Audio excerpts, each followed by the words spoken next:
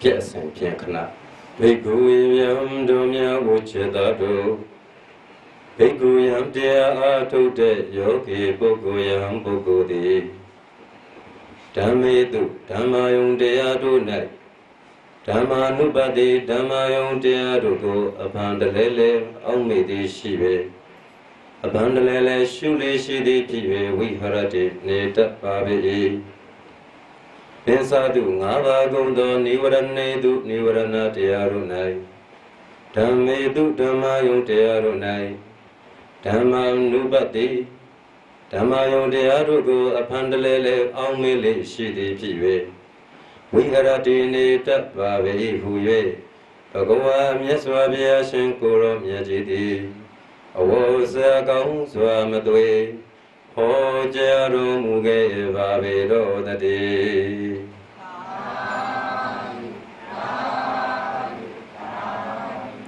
ဘိက္ခုဝိမြတ်တော်မြတ်ကိုจิตသားတို့ဘိက္ခုတန္တရာဘိမာလူအောင်ယုံငယ်ရဲ့လို့တရားကိုခင်တော်ရဲ့တရားကိုချစ်ခင်တဲ့ဩသူတော်ကောင်းအပေါင်းတို့ဘိက္ခုယံတရားအားထုတ်တဲ့ယောဂီပုဂ္ဂိုလ်ယဟံပုဂ္ဂိုလ်သည် တတ္တသူခုနှစ်ပါးကုံတော်ဘုဇင်ကဲ့သို့ဘုဇင်ကတရားတို့၌ဓမ္မေသူဓမ္မယုတရားတို့၌ဓမ္မာနုပတိဓမ္မယုတရားတို့ကိုအပံတလဲလဲရှုလေးရှိသည်ဖြစ်၍ဝိဟရတိနေတပါပေဟု၍ဘဂဝါမြတ်စွာဘုရားရှင်ကိုယ်တော်မြတ်ကြီးသည်အဝေါစကောင်းစွာမသွေဟောကြားတော်မူခဲ့ပါပေတော်တည်း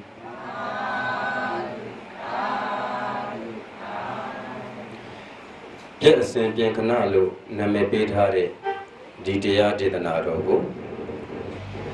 ဆရာကြီးရဲ့သင်တန်းမှာဆရာကြီးရဲ့တပည့်များဆရာကြီးရဲ့တပည့်တွေဖြစ်ကြတဲ့အင်္ဂလိပ်စာလည်းလေးလာနေကြတဲ့တပည့်တွေလည်းဖြစ်ကြတဲ့အတွက်ကြောင့်ဗမာလိုလည်းပါမယ်အင်္ဂလိပ်လိုလည်းပါမယ်အဲ့တော့ဗမာလိုအပိုင်းအဖြစ်ပထမဦးဆုံးနားလည်အောင်ပြောမယ်ဆိုလို့ရှိရင်ပြတ်သောအရာတွေဒီ ဂယုမဆိုင်ပင်နဲ့ထားလိုက်တဲ့အခါမှာကာလရှည်ကြာစွာအပြစ်တစ်ခုကိုရင်ဆိုင်ကြပြင်ကျင်စိတ်ရှိလာတဲ့နေ့ကြလို့ရှိရင်ဒီနေ့ပြင်ကျင်စိတ်ရှိရင်ဒီနေ့ပြင်လိုက်တာနဲ့တစ်ပြိုင်နက်ပြင်ဆင်လိုက်တဲ့ရလက်ကိုရသွားတာပဲပြင်လိုက်တဲ့နေ့ဟာကောင်းဖို့ဘက်ကိုဥတည်သွားတာပဲပြင်ကျင်စိတ်မရှိသေးရင်ဒါလူတွေကမပြင်ကြအဲ့ဒီမှာအမားကြာကြာတွေ့ကြတာအဲ့ဒီမှာဒုက္ခကိုကြာကြာ ရင်ဆိုင်ကြရတာဒုက္ခတွေရောက်ကြတယ်ဖေဟာဒုက္ခတွေရောက်ကြတယ်ဖေဟာစိတ်တွေဆင်းရဲပါတယ်စိတ်တွေဆင်းရဲပါတယ်အကြောင်းရှာကြည့်လိုက်တဲ့အခါကျတော့ဒုက္ခရောက်တာလေဘယ်သူကြောင့်လဲလို့ကြည့်လိုက်တော့ဘယ်သူကြောင့်မှမဟုတ်ဘူးကိုယ့်ရဲ့သဘောထားကိုယ့်ရဲ့နှလုံးသွင်းစိတ်ဆင်းရဲတယ်ဆိုတာလည်းပဲအကြောင်းရှာကြည့်လိုက်တော့ဘယ်သူကြောင့်မှမဟုတ်ဘူးကိုယ့်ရဲ့သဘောထားကိုယ့်ရဲ့နှလုံးသွင်း လူတယောက်ကိုကြည့်တာတောင်မှမေတ္တာစိတ်နဲ့ကြည့်တဲ့သူနဲ့မလိုတဲ့စိတ်နဲ့ကြည့်တဲ့သူလူတွေရဲ့အတွင်းတက်ခံတွေကမတူကြဘူးအတွင်းတက်ခံတွေမတူကြတဲ့အခါကျတော့တချို့လူတွေကဘယ်သူကိုမဆိုမေတ္တာမျက်လုံးနဲ့ကြည့်တတ်တယ်တချို့လူတွေကဘယ်သူကိုမဆိုဟောထိုင်ပြန်ပြီဟောထပြန်ပြီအေးဟောကြည့်တာစကားပြောတာကကြည်ုံဟောင်းဖွာဟောင်းဖွာနဲ့တော့အကြောင်းစုံလိုက်ကြည့်ပြီးတော့လူတွေကိုဝေဖန်တဲ့လူက ဒီလိုမျိုးမျိုးကို crit တို့ဒီပညာရှင်လောကမှာဆိုလို့ရှိရင် critical eyes လို့ခေါ်တယ် critical eyes ဆိုတာကနေရာတကာတိုင်းလိုက်ပြီးတော့အပြစ်မြင်နေတာမျိုးကိုပညာရှင်တွေကမဆိုလို့ပြန်ဘူးသူက analyze လုပ်တတ်တဲ့သူမျိုးပေါ့ဒါဒီအကြောင်းနဲ့အကျိုးနဲ့တိုက်ဆိုင်မှုရှိရလားယုတ်တိတန်ရလားလက်တွေ့ကြရလားဒီလိုမျိုးကြည့်တဲ့မျက်လုံးကို ဒါ critical eyes လို့ခေါ်တယ်တချို့ကတော့ဒီတိုင်းကြည့်တဲ့နေရာမှာအပြစ်ပဲမြင်နေတဲ့သူမျိုးတွေကြတော့သူတို့ကဟာလား pessimistic ပေါ့နော်အဲ့ဒီလူမျိုးတွေအဆိုးပဲမြင်တတ်တဲ့သူမျိုးဒီလိုလူမျိုးတွေအတွက်ကကြတော့သူတို့အတွက်ကအမြဲထာဝရပူလောင်မှုနဲ့တွေ့နေမှာပဲဒီတော့ပူလောင်မှုနဲ့တွေ့နေတယ်ဆိုတော့အခုဘုရားဟောတဲ့တရားကိုပြန်ပြီးသုံးသပ်ကြည့်လိုက်တော့တ ဓမ္မယုံတရားတွေကိုတတိပဋ္ဌာန်တင်ပြီးတော့ဓမ္မာနုပတ္တနာအနေနဲ့ရှုတယ်ဒါကလေးတွေအနေနဲ့ဆိုတော့တာတို့သမီးတို့တက်ဆိုလို့ညတော်တော်ကြီးမြင့်သွားနော်အမုံလွယ်လွယ်လေးလုပ်ပြမယ်ဓမ္မယုံတရားတွေဆိုတာဓမ္မဆိုတာကသဘောတရားတွေအဲ့သဘောတရားမှန်သမျှမှာမှာမြတ်စွာဘုရားဟောကြားတော့ဒီနေ့ဟောတဲ့တရားအရာကြည့်မယ်ဆိုရင်និဝရဏပပ္ပလို့ခေါ်တဲ့និဝရဏတရားအဲ့တော့ပထမဦးဆုံး တို့တွေလက်တွေ့ကြကြလေးနိဝရဏဘာတွေလဲဆိုတာကိုလိုက်ဆိုကြည့်အောင်ကာမိစန္ဒာကာမိစန္ဒာဖြာပါဒာဖြာပါဒာဌိနမိတ်တာဌိနမိတ်တာဥဒိစ္စကုက္ကုစာဥဒိစ္စကုက္ကုစာဝိစီကိစ္စဝိစီကိစ္စအဲ့ဒါနိဝရဏ၅ပါးလို့ခေါ်တယ်ဒီနိဝရဏ၅ပါးကိုကြည့်တဲ့အခါမှာမြတ်စွာဘုရားကဒီဓမ္မယုံသဘောတရားတွေမှာဓမ္မယုံသဘောတရားတွေပါလားလို့အဖန်တလဲလဲသိပေးရမယ်လို့ တတိပဋ္ဌာန်ဟောတာတတိပဋ္ဌာန်ဆိုတဲ့စကားလုံးဆိုတာတတိထားတာလူတွေကတတိမထားတဲ့အခါကျတော့ပြောလွယ်ဆိုလွယ်ခုနလိုဝေဖန်လွယ်ဖြစ်သွားတယ်မလားလူတစ်ယောက်ကိုကြည့်လိုက်တဲ့အခါမှာဘုံဘုံအမြဲပြောတဲ့စကားတစ်ခုရှိတယ်လူချစ်ခံရတဲ့ဘဝနဲ့နေတာနဲ့လူမုန်းခံရတဲ့ဘဝနဲ့နေတာဘယ်လန်းစဉ်ကိုကြိုက်လဲစိတ်ခံရတဲ့ဘဝကိုလူချစ်ခံရတဲ့ဘဝကိုကြိုက်တဲ့သူကကိုယ်စကားတစ်ခုပြောရမယ်ဆိုတဲ့ကိုက စကားထဲမှာလူမုန်းစရာပါသွားမယ်ပေါ့ဆိုကြပါစို့သားတို့သမီးတို့ကိုအာသားတို့သမီးတို့အရန်ချစ်ဖို့ကောင်းတာပဲဟလာဘုံဘုံတရားကိုနားကြတဲ့အတွက်ကြောင့်အရန်ချစ်ဖို့ကောင်းတာပဲဆိုချက်ချင်းအပြုံးကူသွားတာမလားဒီကာမိစန္ဒဆိုတဲ့သဘောတရားပေါ့ကာမိစန္ဒဆိုတဲ့သဘောတရားကိုនិဝရဏလို့ကိုယ်သိတတ်မှာនិဝရဏဆိုတာဘယ်လိုဟာလဲ hindrance လို့ခေါ်တယ်လေသူကအပိတ်အပင်အတားအဆီးသူတို့ကရှေ့ရတယ် stumbling blocks တွေနဲ့တူတာပေါ့ block block တွေသူက ကိုယ်ပိတ်ထားကုသိုလ်မဖြစ်အောင်ပိတ်ထားတဲ့ blocks တွေအဲ့လိုပိတ်ထားတဲ့တရားတွေကိုនិဝရဏလို့ခေါ်တယ်သူတို့ကဘယ်တရားတွေလဲဆိုတော့ကာမိစန္ဒဆိုတဲ့တရားတွေသူလွှမ်းမိုးရင်ကုသိုလ်လုပ်လို့မရတော့ရုပ်ဆွအဆုံးအဲ့ဒီတရားလွှမ်းမိုးလာလို့ရှရင်လူတွေကိုကရုဏာမထားတတ်တော့ဗျာပါဒသူများကိုတတ်ဖြတ်ချင်သူများကိုနှိပ်စက်ချင်တာပေါ့ဖြက်စည်းစေချင်တဲ့စိတ်ဒီစိတ်ဝင်လာပြီဆိုလို့ရှိရင်လူတွေကိုကိုချင်းစာမပေးတော့ဘူးကိုချင်းစာပေးတာကုသိုလ်မလား သူကဗျာပါဒလွှမ်းမိုးတာနဲ့တပြိုင်နက်လူတွေကိုကိုချင်းစာမပေးတော့ဘူးမေတ္တာလည်းထားလို့မရတော့ဘူးကုသိုလ်ဖြစ်လို့မရတော့ပိတ်သွားပြီဌိနမိတ်တာဌိနမိတ်တာဆိုတာကတော့ဩတရားလေးမှနာမည်မကြံသေးဘူးเนาะတရားလေးမှနာမည်မကြံသေးဘူးတိုက်မိသွားရောဟုတ်လားတရားလေးမှနာမည်မကြံသေးဘူးနံရံမိသွားရောပြီးတော့ခေါင်းကအရှိကျမ်းမြင်စိုက်သွားရောဒီလိုမျိုးအဲ့ဒါကိုဌိနမိတ်တာအဲ့တော့ဘုံဘုံပါဟောလဲသိမလားမသိတော့ဘူးလေ ဘာကြောင့်လဲ तू ကဟိုစကြဝဠာကြီးတစ်ခုလုံးကိုစိတ်ကူးရင်ပြီးတော့မျောသွားစကြဝဠာထဲမှာမျောသွားတာဒီလောလောဒီကဘာထဲမှာလည်းမျောတာမဟုတ်ဘူးစကြဝဠာထဲကြီးရောက်သွားတယ်ခလန့်ခေါ်ရင်တော့မမီတော့ဘူးဟုတ်လားဒီလိုမျိုးမျောသွားတဲ့သူတစ်ယောက်ကတရားရဲ့အာရုံစိုက်လို့ရပါမလား ရနိုင်ပါဘူး ဒီတော့ကုသိုလ်စိတ်ဖြစ်ပါအောင်မလားအဲ့ဒါကိုဒါကြောင့်မလို့ဌိနမိတ်တာဆိုတာဒီကုသိုလ်မဖြစ်အောင်ပိတ်ထားတတ်တဲ့တရားဒါကြောင့်និဝရဏလို့ခေါ်တယ်ပြန်ပြောမယ်និဝရဏဆိုတဲ့စကားလုံးရဲ့အဓိပ္ပာယ်က ပိတ်တတ်တဲ့တရားဘာတတ်ဘာတရားလဲပိတ်တတ်တဲ့တရားပါဗျာဘာကိုပိတ်တာလဲကုသိုလ်တရားတွေကိုကုသိုလ်တရားတွေကိုပိတ်ထားတာအဲ့ဒါကိုនិဝရဏအခုသုံးခုမြောက်ဖြစ်သွားပြီဌိနမိတ်တာနော်ဩဒိစ္စကုက္ကုဆဆိုတာကစိတ်ပြန့်ဩဒိစ္စကစိတ်ပြန့်ကုက္ကုဆကနောင်တတွေရနေတာစိတ်ပြန့်တယ်ဆိုတဲ့နေရာမျိုးမှာကြတော့အခုဘုံမောဟောတဲ့တရားမှာဒီနေ့ဟောတဲ့ခေါင်းစဉ်ပါလဲကဲစင်ပြေကနာ အဲအပြည့်စင်ပြေကနာအာယုံလေးစိုက်တာ concentration လေးပေးထားတယ်ဆိုလို့ရှိရင်မှတ်မိသေးတာပေါ့နော်စိတ်ပြန့်သွားတဲ့တပြိုင်တည်းခေါင်းစဉ်ရရှိသေးလားရှိတော့ပါဗျာအဲ့လိုမျိုးဆိုတဲ့အခါကျတော့စိတ်ပြန့်တဲ့သူဘာအတိမှမတိုးဥပမာပေါ့ဒီ classroom ထဲမှာဆရာကတော့ lecture တွေကောင်းကောင်းပေးနေတာပဲကိုယ်အာယုံမစိုက်ဘူးစိတ်ပြန့်အဲ့တော့ဘာသင်လိုက်လဲသိလားပြီးပါဦးဗျာမသိဘူးအဲ့ဒီပညာရက်အဲ့နေမှာသူဒီသူ့မှာမတိုးတော့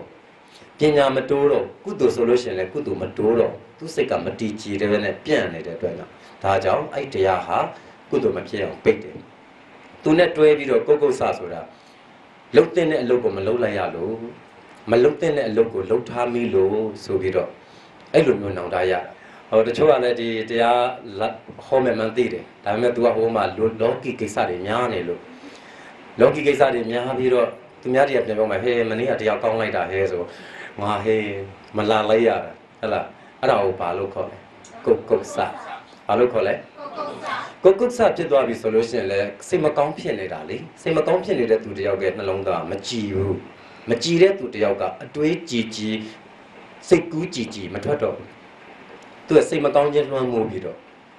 စိတ်မကောင်းခြင်းလွှမ်းမိုးပြီးစိတ်မကောင်းခြင်းကိုမွေးထားတဲ့အတွက်ကြောင့်သူ့မှာကုသိုလ်မတိုးတဲ့အတွက်ကြောင့်ကုသိုလ်ပိတ်သွားပြီးနံပါတ်၄ကနှစ်ခုတွဲကိုတစ်ခုလုပ်ပြီးတော့ဘုရားဟောတာတယ်ဥဒိစ္စကုတ်ကုတ်ဆနောက်ဆုံးတစ်ခုကတော့ဝိသိကိစ္စဝိသိကိစ္စဆိုတာကြတော့သူကဟုတ်လျက်လားမဟုတ်ဘူးလားကုသိုလ်မဟုတ်ရဲ့လားတို့ရအခုတရားနာတယ်ဆိုတာဓမ္မတဝနာကုသိုလ်ရတယ်ဆိုတာဟုတ်ကောဟုတ်ရဲ့လားတန်တရားတွေနဲ့တန်တရားတွေနဲ့နောက်ပြီးနောက်တက်တန်တရားဆိုးဆိုးဝါးဝါဒီဘက်ခင်မှာဖြစ်နေတာ ဒီတန်ဃာတွေကိုကိုးကွယ်နေတာအကျိုးရှိတာကောဟုတ်ကောဟုတ်လို့လားဒီလိုပေါ့နော်သူတို့လှူနေတာအကျိုးရှိတာမဟုတ်ကောဟုတ်လို့လားဒီလိုမျိုးတွေဖြစ်လာတာတန်တရားလို့ခေါ်တယ်ကိုယ်ကုသိုလ်စိတ်နဲ့ကိုလှူနေကြတာတကယ်အကျိုးရှိမယ်လို့ယုံလို့ဘုံဘုံတို့တွေဆိုတာကဖရာတရားတော်တွေကိုတော်တော်နက်နက်ဆက်ဆက်လေ့လာထားတော့ဒီစိတ်ကလေးထားပြီးလှူလိုက်ရင်ဒီလိုအကျိုးရှိတယ်ဒီလိုလေး ဒီလိုဖြစ်တဲ့နဲ့ तू ကကိုယ်ကိုစော်ကားပြင်မယ်ကိုကဒီနှလုံးသွင်းသွင်းလိုက်လို့ရှရင်ကိုကုသိုလ်စိတ်မပြတ်ဘူးအဲ့တော့ကိုကုသိုလ်စိတ်ကိုအပြတ်မခံတဲ့စက်သားရှောက်စက်သားလှုပ်ဆိုပြီးတော့ဘုန်းကြီးတွေကကုသိုလ်လုပ်ရင်ဇွဲရှိတယ်လူတွေကသူများကနည်းနည်းတိုက်လိုက်တာနဲ့တပြိုင်နက်ရိုင်သွားရောအဲ့ဒါမတီကြည်သောတရားတရားလို့ခေါ်တယ်မခိုင်မာသောတရားတရားလို့ခေါ်တယ်မခိုင်မာသောတရားတရားဘာကြောင့်လဲဆိုတော့ခုနဝိသိကိစ္စဆိုတဲ့ ဟုတ်ရဲ့လားမဟုတ်ဘူးလားဆိုတဲ့ယုံမားတန်တရားတွေပိတ်ထားလို့ကုသိုလ်မဖြစ်တော့ဒီတော့ဘုရားကအဲ့ပြက်နေတဲ့အရာတွေကိုသိအောင်လုပ်ဒါပြက်တာနိဝရဏတရား၅ပါးလွှမ်းမိုးတယ်ဆိုတာဘာဖြစ်တာလဲပြက်တာပြက်တာလူတွေပြက်နေတာကိုသားတို့သမီးတို့ပြက်နေတာဘယ်လောက်လောက်ကြာလဲမွေးကလေးကပြက်တာပါဖះဒီနေ့မှအခုဒီမှာပြန်ပြင်มาတော့မှလှဟိုအင်ဂျင်1လို့ပေါ့နော် အင်ဂျင်1လည်းမရှိပါဘူးအင်ဂျင်1လေးပြန်ထည့်မယ်ဆိုလို့ရှိရင်ဒီဆက်ကကောင်းကောင်းပြန်လဲပတ်မှာမလားအခုအဲ့ပြက်တဲ့အတိုင်းကြီးပဲတန်ကြီးကိုက်ပြီးတော့တန်ကြီးကိုက်တဲ့ဆက်ကြီးနဲ့လဲပတ်နေကြတာမလားအဲ့တော့တန်ကြီးကိုက်တဲ့ဆက်ဟုတ်မဟုတ်ဘုံဘုံလျှက်တစ်ပြက်မိခွန်းလေးတစ်ခုမေးကြည့်မယ်နော်မက်ကင်ဘယ်နှပါရှိလဲဖြစ်ပါပါဗျာမက်ကင်၈ပါးရဲ့အလဲကောင်နံပါတ်4ကပါလဲကဲဟုတ်ပြီအဲ့မှာတန်ကြီးကြိုက်သွားပြီတွေ့လားဘာဖြစ်သွားလဲ တန်ကြီးကြိုက်သွားပါတန်ကြီးကြိုက်သွားပြီအဲ့ဒီစဉ်းစားရင်တော့ရတဲ့သူပါတယ်နော်အဲ့လိုမျိုးပေါ့ဒီလိုမျိုးဆိုတော့တန်ကြီးကြိုက်တဲ့စက်တွေနဲ့လဲပတ်နေတော့ဖုံဖုံတို့ရဲ့ရန်တရားကြီးဖုံဖုံတို့ရဲ့ရန်တရားကြီးအဲ့လောက်တန်ကြီးကြိုက်နေမှတော့ပြက်တာကြားလာပြီဒါပေမဲ့ပြင်းကျင်သလားပြင်းပါပါဗျာအေးကဲပြင်းကျင်ပါတယ်ဆိုလို့ရှိရင်ဒီနေ့ဘုံဘုံကအင်ဂျင်ဝိုင်းတွေချပေးခဲ့တယ်ဟလားအဲ့ဒါလည်းပြဆက်တို့ကနော်လဲပတ်လို့ချောအောင်လို့အဲ့တော့လဲပတ်လို့ချောအောင်ဆိုတော့ကိုယ်ဒီပြက်နေတာဘာတွေကြောင့်ပြက်နေတာလဲပြောပြီးပြီနိဝရဏ၅ပါးကြောင့်ပြက်နေကြတယ် ဒီလိုမျိုးပေါ့ပြက်တယ်ဆိုတော့ကိုယ်စိတ်ကိုပြန်ကြည့်လိုက်တယ်ဘုံဘုံပြောတာခန္ဓာကိုယ်ပြက်တာပြောတာမဟုတ်ဘူးစိတ်ပြက်နေတာအဲ့ဒီပြက်နေတဲ့စိတ်တက်ကိုပြန်ကြည့်လိုက်တော့ကာမိဆန္ဒအော်ကုသိုလ်လုပ်ပါမယ်ဆိုလို့ရှိရင်ကုသိုလ်ထဲမှာဤကုသိုလ်ကြောင့်ဘယ်အကျိုးရရပါလို့ဤအော် तू ကမပေးရသေးဘူးအရင်တောင်းတယ်နော်အမပေးရသေးဘူးအရင်တောင်းနေတဲ့စကားကျတော့အဲ့မှာကာမိဆန္ဒကြီးနဲ့ तू ကပေးတာ ကာမိဆန္ဒကြီးနဲ့ပြီးတော့သူ့အလှူကလွတ်လွတ်ကျွတ်ကျွတ်လှူဒန်းခြင်းဆိုတဲ့မုတ်တစာခီလို့ခေါ်တဲ့လွတ်လွတ်ကျွတ်ကျွတ်ဆုံးလို့လှူဒန်းခြင်းဆိုတဲ့ကုသိုလ်မဖြစ်တော့ဘူးအဲ့သူကုသိုလ်စစ်ပါမှာစစ်ပါအဲ့တော့ကုသိုလ်စစ်ချင်လို့ရှိရင်ဘုံဘုံအခုဒီနေ့သင်ပေးခဲ့တယ်စစ်မှန်သောကုသိုလ်သည်အကျိုးမမျှော်လင့်သောလွတ်လွတ်ကျွတ်ကျွတ်လှူဒန်းသောမုတ်တစာခိအလှဖြစ်ပါသည်မှန်ပြီလားပြင်းပါဗျာကုသိုလ်စစ်စစ်သူစီကဘာအကျိုးမှမမျှော်လင့်ဘဲနဲ့ကိုလှူတာ ဘလို့အလှမျိုးတယ်လဲမုတ်တစာခိမုတ်တဆိုတာကလွတ်လွတ်လွတ်မြောက်တာစာခိဆိုတာကစွန့်လွတ်ခြင်းလွတ်လွတ်ကျွတ်ကျွတ်စွန့်လွတ်ခြင်း အဲ့မုတ်တဆိုတဲ့စကားလုံးဒီနေ့ဘုံဘုံရိုက်နေတဲ့ဗီဒီယိုလိုပေါ့ဝိမု ക്തി ဝိမု ക്തി ဆိုတာလွတ်မြောက်ခြင်းပဲအဲ့တော့အဲ့မုတ်တဆိုတဲ့စကားလုံးကလွတ်မြောက်ခြင်းဒါဆိုရင်သိကြမှာနော်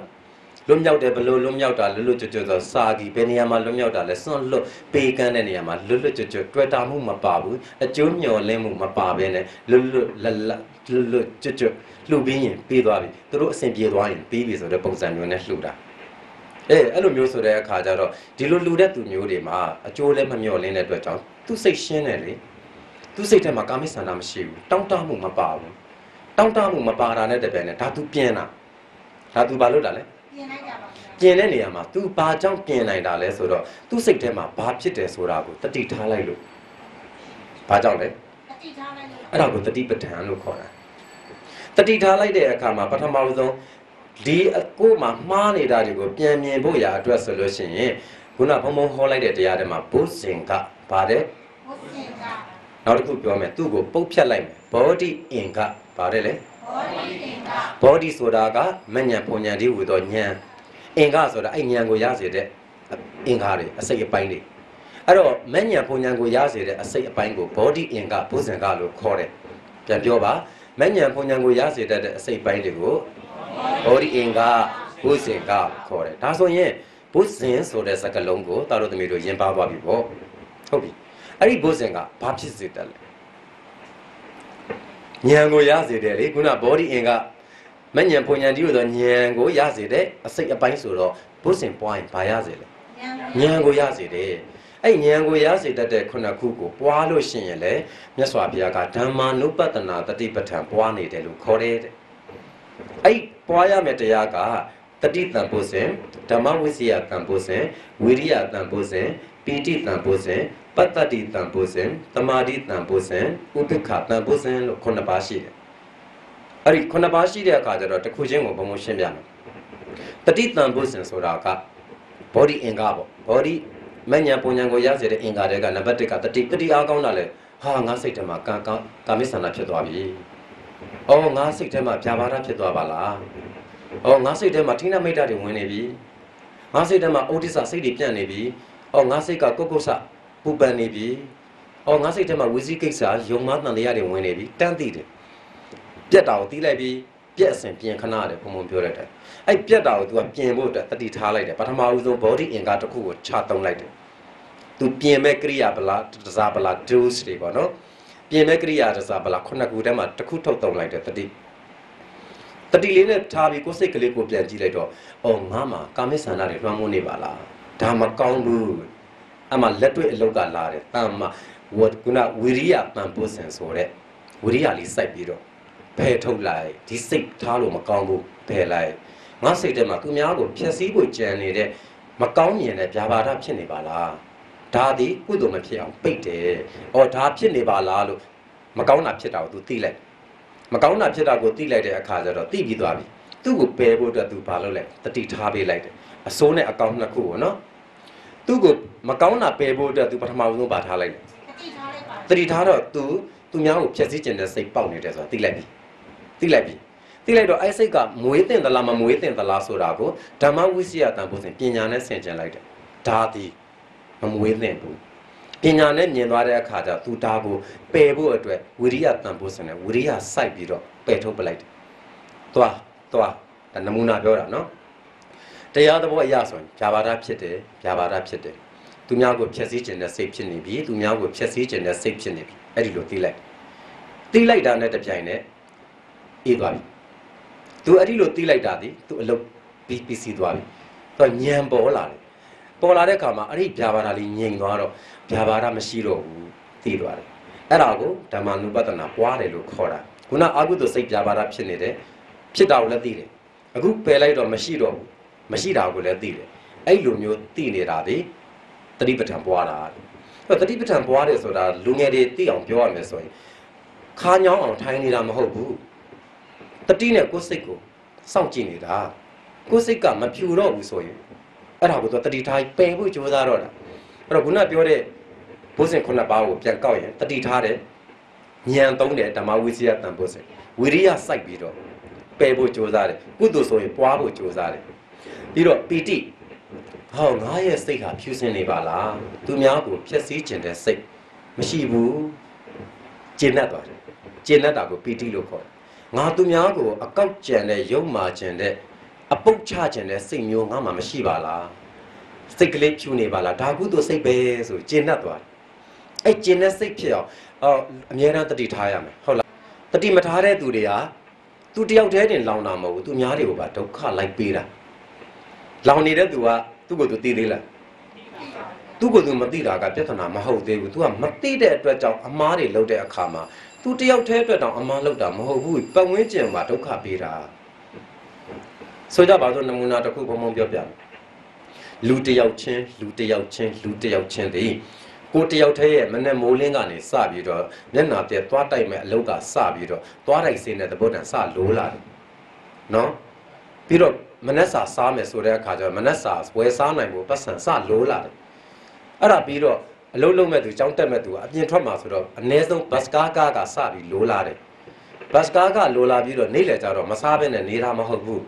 လုံးဝအငတ်ခံမယ်ဆိုရင်တော့လက်ဖက်ရည်တစ်ခွက်တော့တောက်သေးတယ်ဟုတ်လားအဲ့အတွက်ပတ်စံကလိုးပြန်ပြီအဲအဲ့လိုလိုပြီးတဲ့အခါကျတော့ပြီးတော့တော့အလုတ်ပြီးသွားပြန်တော့နေ့လယ်တစ်ချောင်းလုံးအလုတ်လုပ်နေတဲ့အချိန်မှလည်းပဲသူ့ရဲ့ အလုတ်ထဲမှာကြုံတဲ့စိတ်ချမ်းသာမှုစိတ်ညစ်မှုဆိုတဲ့အပိုင်းတွေရှိသေးတယ်အဲ့ဒါဒီပြီးတော့ညနေကြလဲငြိမ်ငြိမ်မနေဘူးလက်ဖက်ရည်ကတောက်ချင်ပြန်ပြီဟောပြီးတော့အလုတ်ဆင်းပြီအလုတ်ဆင်းပြီခါတဲ့အခါကျတော့လည်းပဲဘတ်စကားကလိုပြန်ပြီအဲဘတ်စကားကလိုပြန်ပြီးတော့အိမ်ပြန်ရောက်သွားတယ်အိမ်ပြန်ရောက်သွားတဲ့အခါကျတော့ရေမိုးချိုးမယ်ဆက်ပြန်မတက်ရဘူးလားဟဲ့ဆက်ပြမရှိဘူးထွက်ွယ်ရဟောခေါင်းကလည်းလျှော်ကျင်သေးတယ်လေအဲ့တော့ခေါင်းလျှော်မယ်ဆိုတော့ခေါင်းလျှော်ရင်မလိုဘူးလားဟောခေါင်းလျှော်ရင်လိုတယ်မဝယ်ရဘူးလား သူတယောက်တည်းအတွက်တော့မိုးလင်းမိုးချုပ်ဟုတ်ပြီအဲ့ဒါပြီးတော့အဲ့ရဝင်တဲ့အခါကျတော့ Facebook ကတက်ရအောင်မှာအဲ့အတွက်ကဘေးကဖုန်းဘေးကလိုမြန်တယ်ဟလာဖုန်းဘေးလိုတဲ့အခါကျသူတယောက်တည်းရဲ့မိုးလင်းကနေစပြီးသွားတဲ့စေတပုတ်တန်ကနေစလိုလိုက်တာည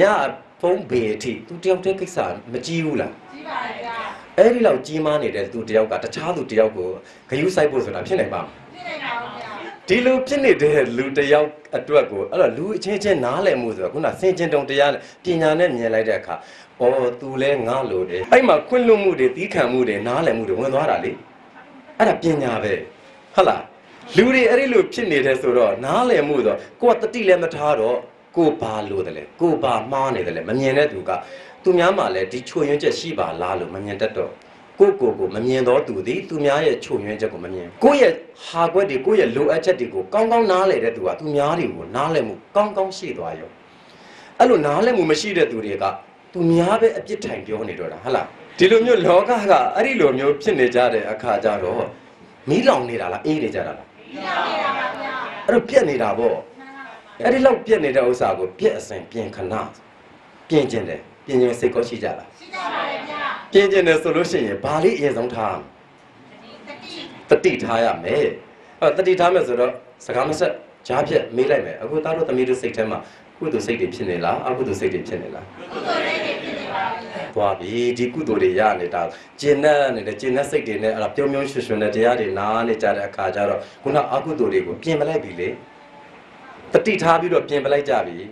ညံလေးရလဲထားတယ်ငါတို့ကုသိုလ်ဖြစ်လာလားအကုသိုလ်ဖြစ်တာဒါကုသိုလ်ဖြစ်တဲ့အလုံးဆိုတက်တက်ကြွားကြွားကိုဟလာတရားနာကြတာကုသိုလ်ရာမန်သိလေပီတိယဖြစ်လေကုသိုလ်ရာမန်သိလေပီတိယဖြစ်လေနားမလဲသေးတာတွေသိခွင့်ရလေပီတိယဖြစ်လေအဲ့မှာပီတိတန်ဖို့စဉ်ဖြစ်လာတယ်ဟုတ်လားအဲ့တော့ပီတိဖြစ်အောင်နေဘုံမတင်လိုက်တဲ့ post ကိုတချို့လူတွေဖတ်ထားပြီးပြီမအေးအေးအောင်နေကိုယ့်ဘက်ကမအေးပါဘူးငါမအေးဘူးဟဲ့ငါမအေးဘူးဟဲ့သူများကမအေးဘူးဟဲ့ခဏခဏညင်းညင်းပြဿနာပိုကြီးတယ်ရေးထားတယ် ညင်းလို့ရှရင်ဘာဖြစ်လဲပြဿနာကိုကြီးပါလေဗျာမငြင်းနဲ့အဲ့တော့ကိုယ့်ရဲ့ပီတိစိတ်ကိုမွေးကြရမယ်တို့အေးကျင်တဲ့လူတွေကပီတိစိတ်မရှိတဲ့သူအေးလို့မရဘူးပီတိစိတ်မရှိတဲ့သူအေးလို့မရဘူးဆိုတော့ခုနအာကုသိုလ်ကိုလည်းအာကုသိုလ်ဖြစ်မှန်းသိတဲ့အခါဟဲ့နေမကောင်းဘူးနေမနေနဲ့သွားသွားသွားဆိုဖယ်လိုက်တဲ့အခါကျတော့မရှိတော့မှန်းသိတယ်စိတ်ကလေးလည်းငြိမ်လဲငြိမ်သွားရောဟဲငါအစိတ်ကလေးဖြူနေပါလားအဲ့မှာသူကပီတိဖြစ်တော့ပီတိတန်ဖို့စဉ်ဝင်လာပြီး ပီတိစိတ်နဲ့နေတဲ့သူကပြုံးလို့ရတယ်ကုသိုလ်လုပ်လို့ရတယ်နော်အဲ့တော့ပီတိတန်ဖိုးစံလေးဖြစ်လာပြီဆိုတော့အေးသွားတယ်ကျင်နဲ့နေလို့ရှိရင်စိတ်ကအေးနေပူစရာမရှိဘူးအဲ့ကြားထဲမှာမှကြည်နေရင်နာနေရင်နာနေရင်ကတရားနာနေရင်ပဲပေါ့နော်တရားနာနေရင်ကအဲ့ဘုံကြီးတရားဟောတာနိုင်ဝက်ရှိနေပြီအဲ့ဘုံကြီးတရားဟောတာဘယ်နှဘယ်နှမိနစ်ဆက်ဟောနေမှလည်းမသိဘူးအဲ့တော့ဘာဖြစ်လဲ तू ကဒီမှာစိတ်ထဲမှာ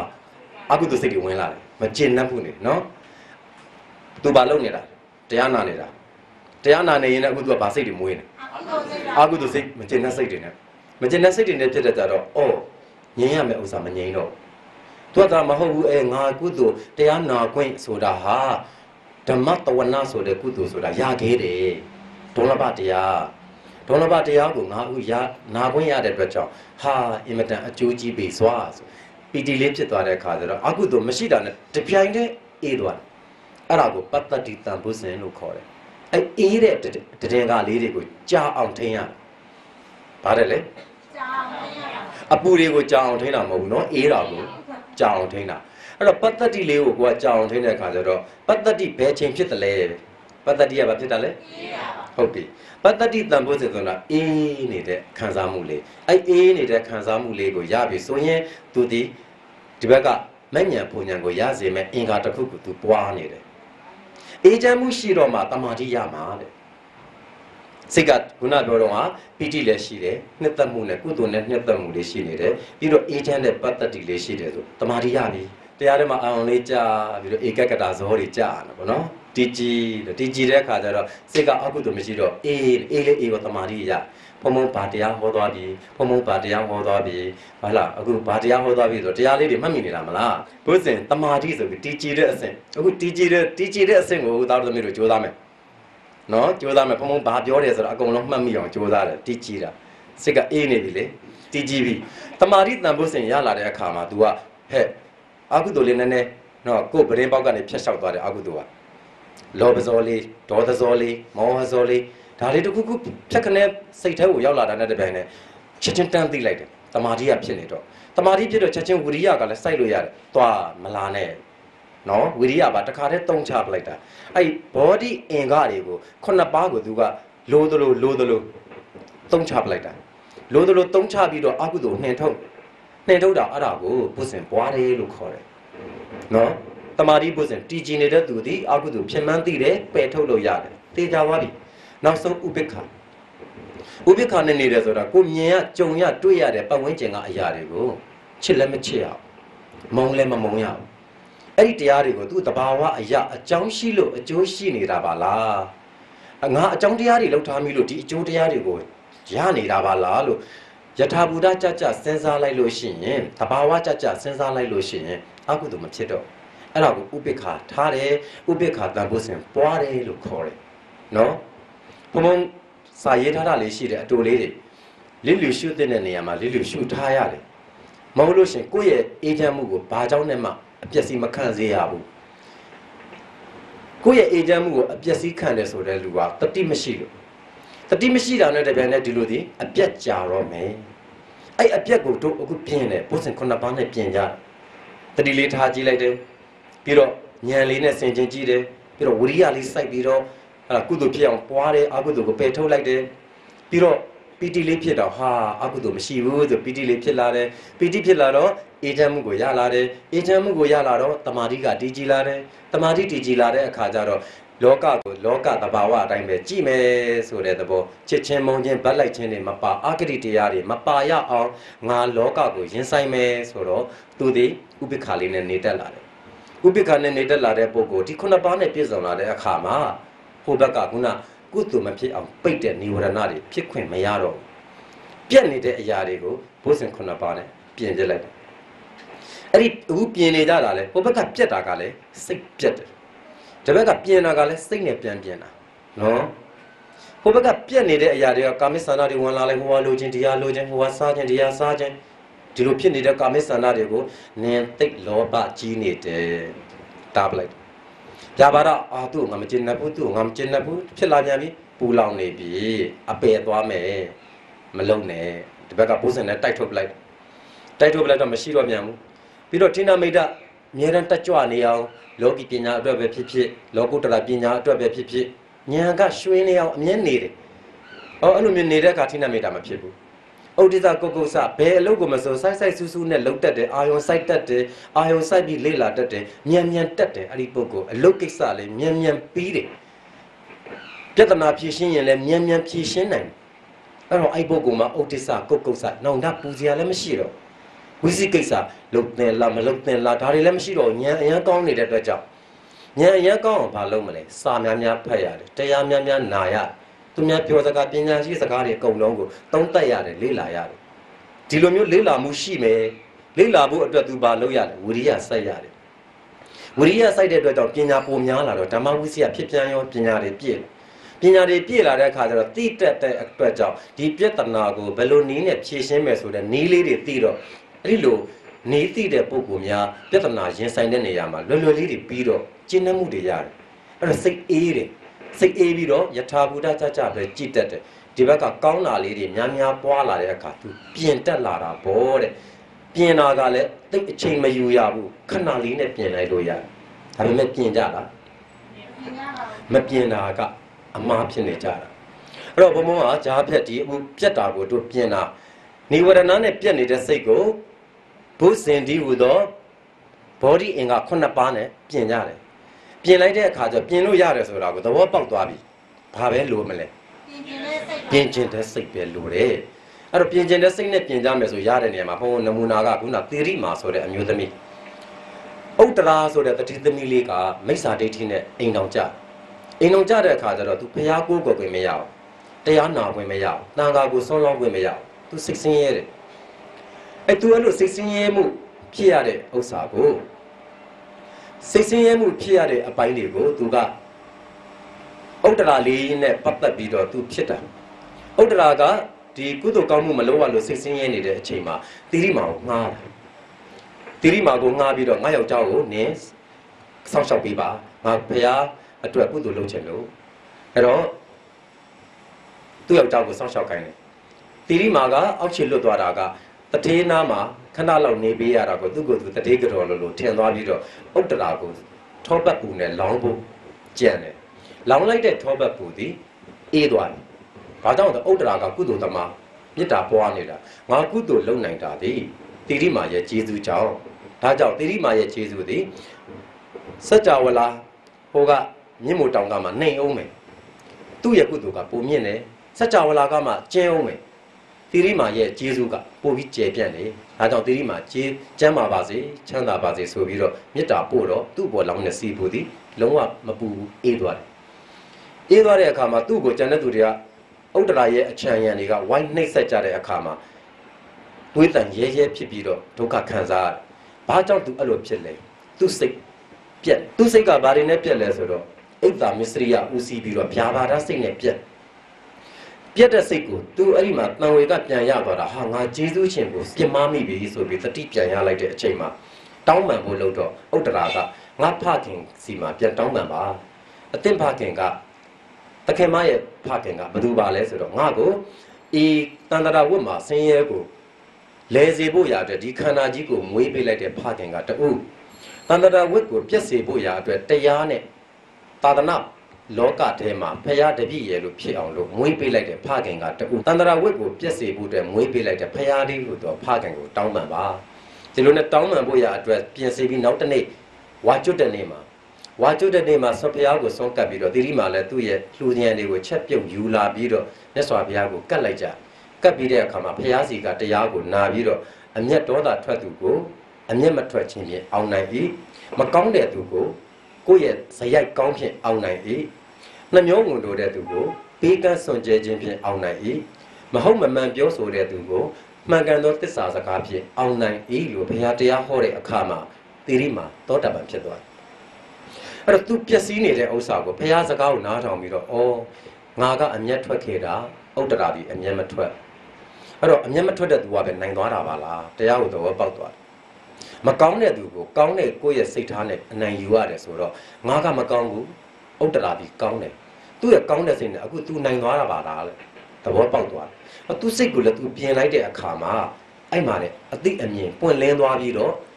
အတိအမြင်ပွင့်လင်းတယ်ဆိုတာဉာဏ်လေးပေါ်လာတယ်ဘုရားတရားမှာအာယုံစိုက်လိုက်တဲ့အတွက်ကြောင့်တမာတိတွေဖြစ်သွားတယ်။အော်ဒီလိုပါလားလို့သိလိုက်တဲ့အတွက်ကြောင့်မလို့အေးသွားတယ်။ဘုဇင်တွေပွားလာတယ်။ခုနဖြစ်နေတဲ့သူစော်ကားမိတဲ့လင်ကိုလိုချင်တဲ့ကာမိသန္တာ ဥဒ္ဒရာကိုဖျက်ဆီးခြင်းတဲ့ဗျာပါဒကုသိုလ်မအကုသိုလ်မမသိတော့တဲ့ဝိသိကိစ္စ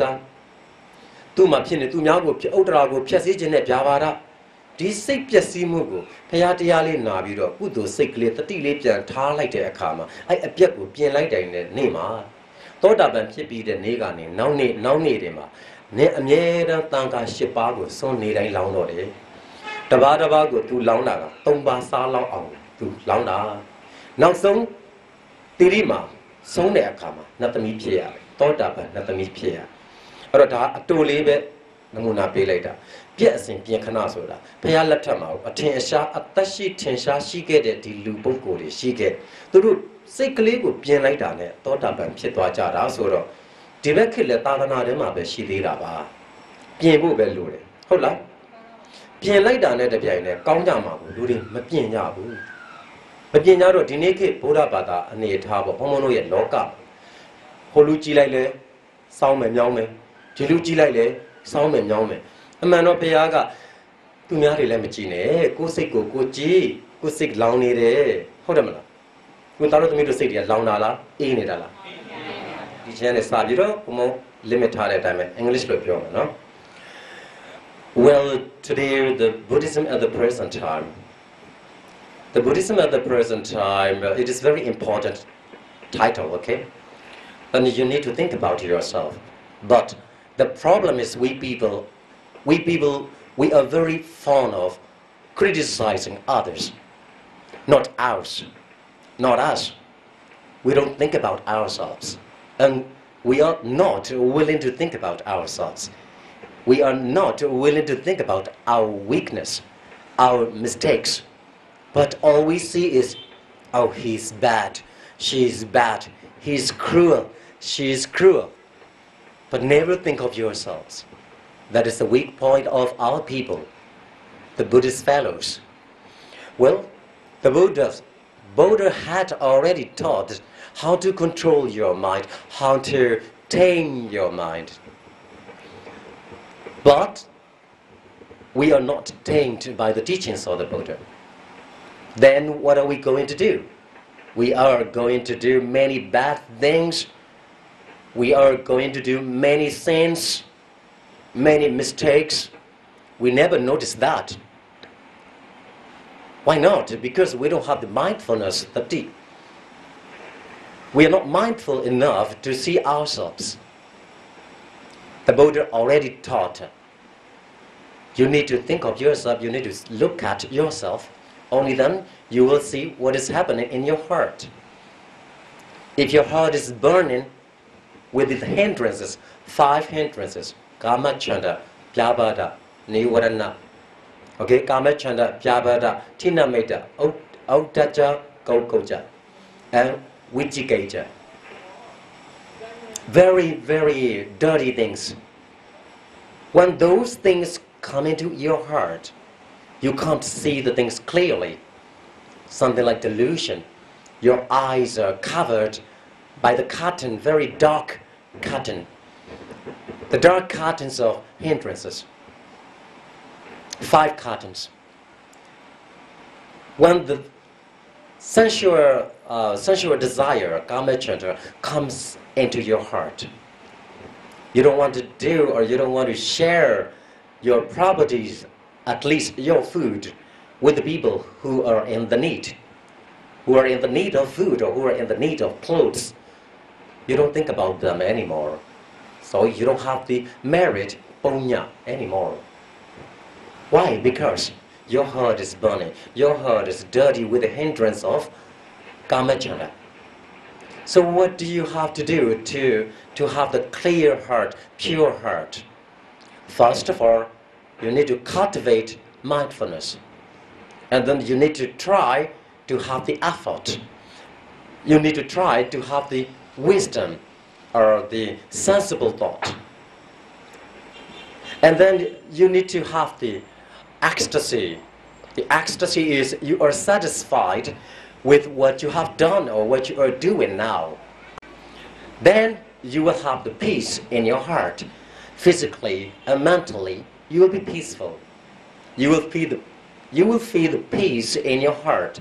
That is called bastati. At that time,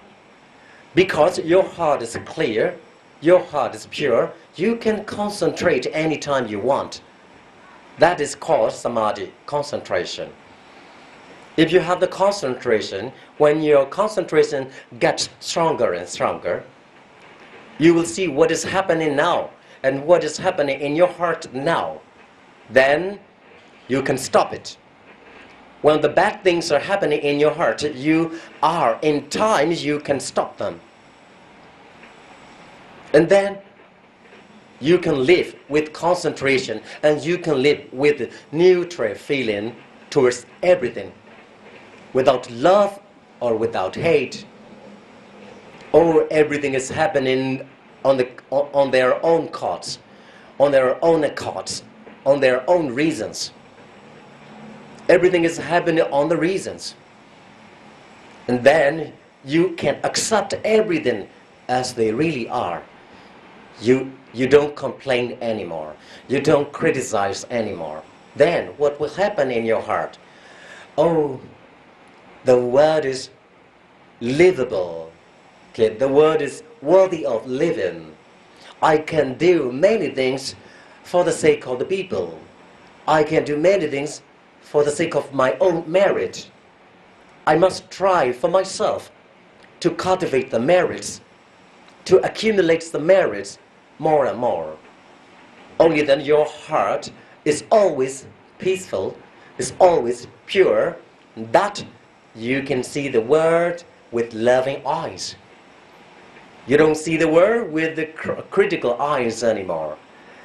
If you don't have the critical eyes but the loving eyes,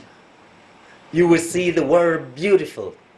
Oh, the world is beautiful. My friend is beautiful. My parents are beautiful. My surroundings are beautiful. And everything around me are beautiful. But you will see that everything is beautiful.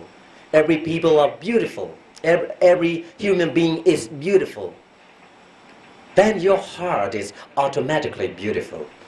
It is called now you mending yourself. You mending the, the faults of your of your heart, the errors of your mind. You are correcting them, you are mending them. You are correcting the mental weak points and mental mistakes by the good things of the mental good things, mental good factors. Seven, body anger. Then you will have the pure heart, okay? That is called, you need to take only a moment to correct your mistakes, long time mistakes, okay?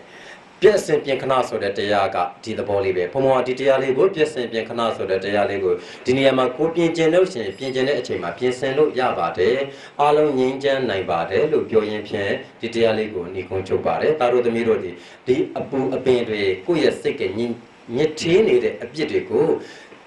အချိန်ကြာကြာမယူရဘဲနဲ့တခဏအတွင်းမှာကိုယ့်ကိုယ်ကိုတတိထားပြီးတော့ပြင်ဆင်နိုင်ကြပါစေလို့ဘုံဘုံကဆုတောင်းရင်းနဲ့တရားလေးကုန်းချုပ်ပါတယ်